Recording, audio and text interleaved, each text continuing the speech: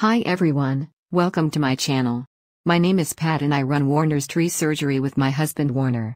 We have been treating sick trees for over 50 years in Maricopa County, Arizona, and we work within 30 miles of Mesa, Arizona. In this video, I'm going to talk about the diseases of Bearss seedless lime, and how Warner can help you with your lime tree problems. Bearss seedless lime, also known as Persian lime or Tahitian lime, is a popular citrus tree that produces seedless, juicy, and flavorful limes. The limes are medium-sized, round or oval, and have smooth, thin, green skin that turns yellow when ripe. The limes are great for cooking, baking, juicing, or adding a zesty flavor to your dishes and drinks. Bearss seedless lime trees are easy to grow and care for, and they can be grown in containers or in the ground. They can reach up to 15 feet tall and wide, and they need full sun and well-drained soil to thrive. However, like any other citrus tree, Bearss seedless lime trees are susceptible to various diseases that can affect their health and productivity. Some of the common diseases that affect Bearss seedless lime trees are citrus greening, also known as Huang Longbing or HLB, which is caused by a bacterium that is spread by the Asian citrus psyllid, and now the ash fly. Both are tiny insect that feeds on citrus leaves and shoots. This disease causes yellowing, mottling, and blotching of the leaves, as well as misshapen, bitter, and green fruits. There is no cure for this disease and infected trees eventually die. Citrus greening is the most serious threat to U.S. citrus production. Citrus canker, which is caused by a bacterium that infects the leaves, stems, and fruits of citrus trees. This disease causes raised, brown, corky lesions on the surface of the plant parts, which can reduce the quality and quantity of the fruits.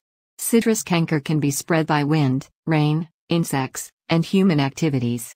There is no cure for this disease, but it can be controlled by removing and destroying infected trees and applying copper-based fungicides.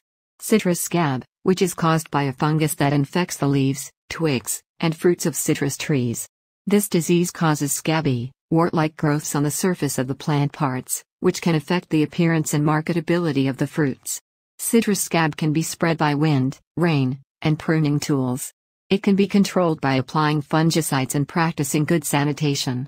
Citrus black spot, which is caused by a fungus that infects the fruits of citrus trees.